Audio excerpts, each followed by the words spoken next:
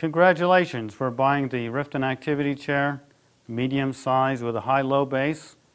I'd like to show you how to mount the seat to the base. When you, this is the minimum chair you're looking at with the base, the seating system, the armrests, and the seat belt. When mounting the seat to the base, it's important to have the footboard angle adjustment detached. And I'm taking this adjustment arm and having it point straight down.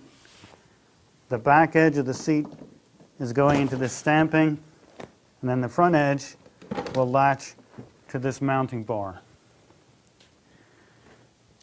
It's a good idea to double check that these latches are really free, that they're engaged, and that your seat is firmly mounted to the base.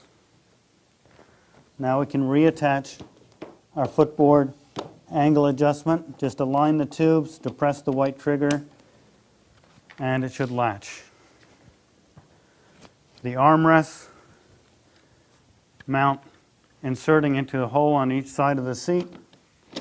Depress the white button and slide it in to the height that you would like.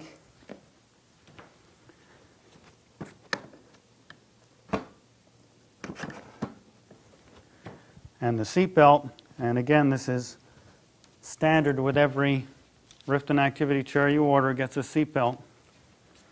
And this mounts with a quick release lever on this little white button. I'm taking a pen or a key or some pointy object, depressing the white button, inserting the stamping, and latching the seatbelt to the frame.